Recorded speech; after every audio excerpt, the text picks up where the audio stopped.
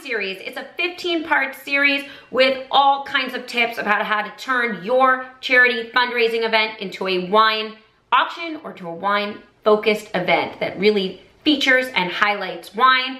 This is tip number nine. If you have not watched one through eight, I highly recommend that you do. Oh, I forgot to introduce myself. I'm Abra Annes, founder and CEO of Generosity Auctions. Let's pop right into tip number nine. Tip number nine is hold a pre-event wine tasting. This is a great opportunity to do a couple things. You should have some wine by now and you can invite your major donors, your sponsors, people that are close to you, people that you want to be close to you, to come and have a wine tasting before the event.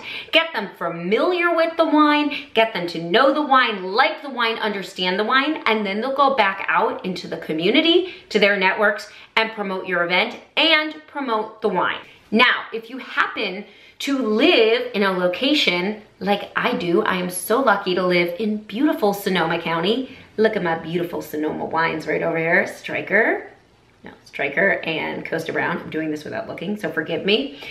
You could have your pre-event wine tasting at a winery. What a wonderful way to expose your donors, your guests, your sponsors to a new winery and also to bring customers directly to the winery. Not only will it be beneficial for the winery, it will be beautiful. It will be a change of scenery. It will be an experience. It will be something your donors will want to come to as well as your sponsors. So consider holding a pre-event wine tasting and you don't have to live in Sonoma County to do this or Napa over the hills.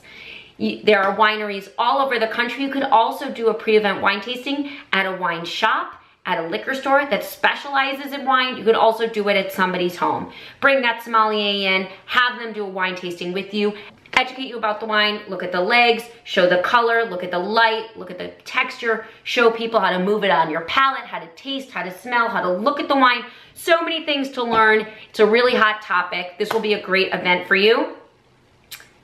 And that's it. That's tip number nine. Thank you so much for watching. Stay tuned. We have tip number 10 coming up. Click the subscribe button if you haven't. Give this video a thumbs up if you found it useful. I'll see you in the next tip.